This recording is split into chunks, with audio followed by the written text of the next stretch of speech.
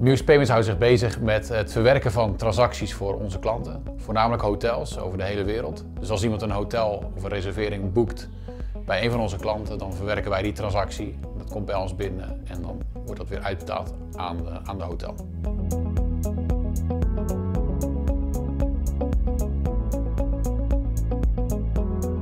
De toegevoegde waarde van ons systeem is dat wij processen en, en, en handelingen van hotels automatiseren, zodat zij zich kunnen bezighouden met hun gasten en dat de gasten zich welkom voelen in het hotel.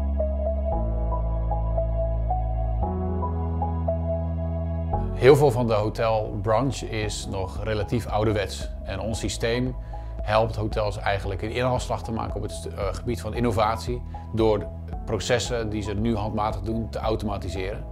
En dat is eigenlijk voor de hele industrie een hele innovatieve ontwikkeling.